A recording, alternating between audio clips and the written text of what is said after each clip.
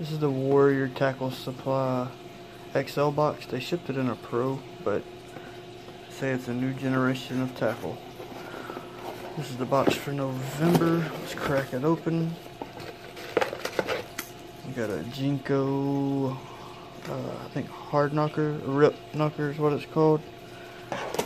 Next up is the Chase Baits Wiggle Bomb. These are pretty cool. I've seen some videos on these, but I'm not really sure how you fish them yet. Another bait by Jenko. This is the Deep Diver Crappie Crank. I think it's more of a trolling. Yeah, troll from 18 to 8, 8 to 18 feet. Pretty cool bait. Matsu little baby uh, popper. Some drop shot baits by Warrior Tackle Supply. And these by Doomsday little uh, sea sheds, then some hooks, and the decal. So let's crack some of this open. Sorry about the lighting, my phone's doing something crazy. First up is the Doomsday Tackle Company. This is a little thing called the Sea Shed. This is probably the most realistic looking minnow style bait out. Um, it's got this foil in the middle. You can do anything from drop shot to a little jig head. I like drop shot option because it looks just like a little baby bluegill or crappie or something swimming through. Maybe even dip the tail in a little chartreuse, but I will be throwing these for sure. This is called Baby Gill Flash. So, as you can see, those are just smashed. Next up is these Matsu, Matsu, Matsuo 4 alt red chrome hooks. There's five. These are standard 4 alt hooks. Uh, these are a lot stronger than the ones they sent last time. This extra wide gap J bend worm hook. Again, there's your decal. You got pretty cool uh, logo. I like that a lot. It'll be going on my boat or tackle bag or something.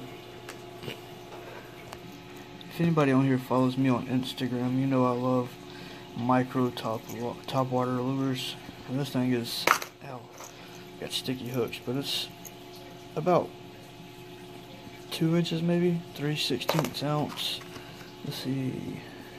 Oh, it's three sixteenths ounce, and I don't see the length, but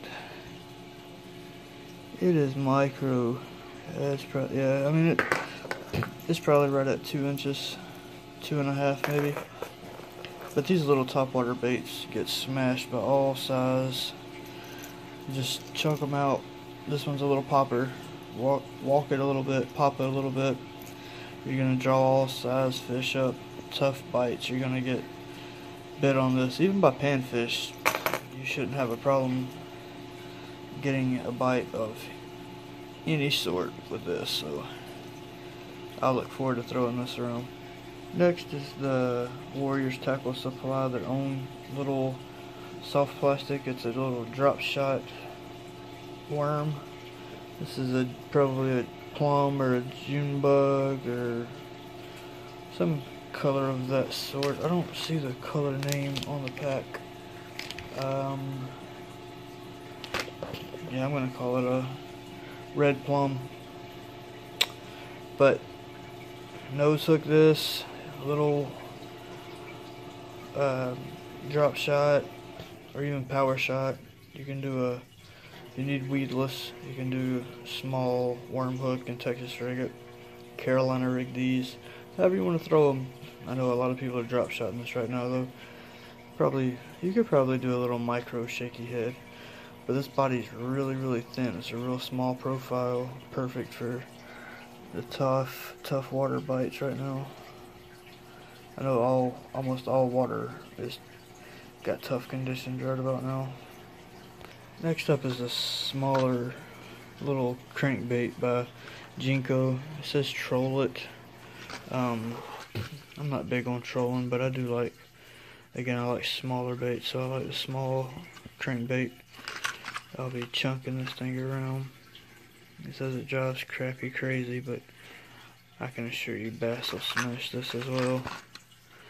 Red hooks, that's different, but 8 to 18 feet, I'll, I'll probably be good to get it about 10 or 12 with some 10 to 12 pound test. And sorry if I sound nasally. I got some kind of allergies going on.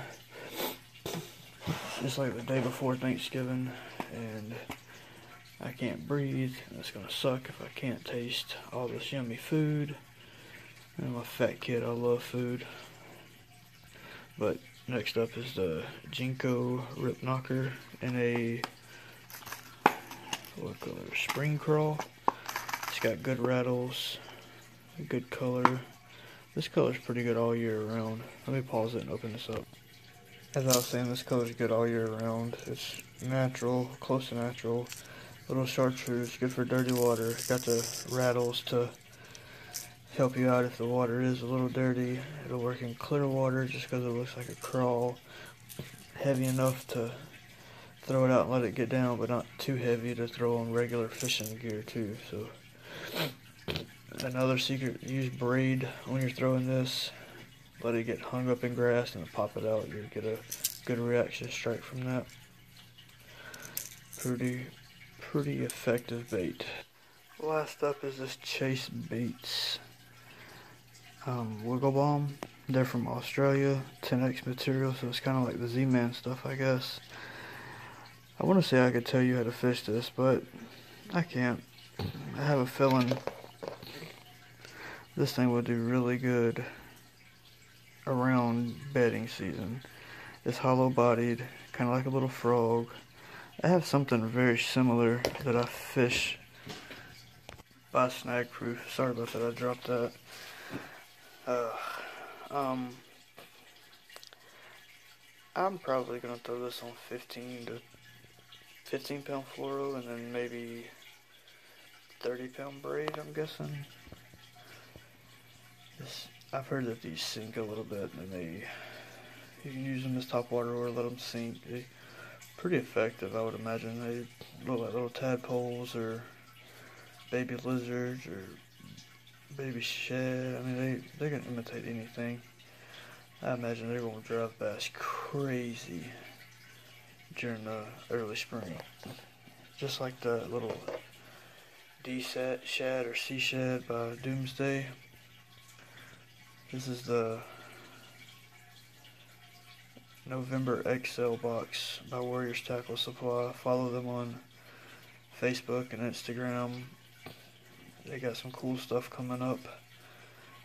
I see this little company getting pretty big pretty fast if they get the right people behind them. Um, and I cannot breathe. Those allergies are killing me. But I hope everybody has a thanks happy Thanksgiving. Stay safe, tight lines, and God bless.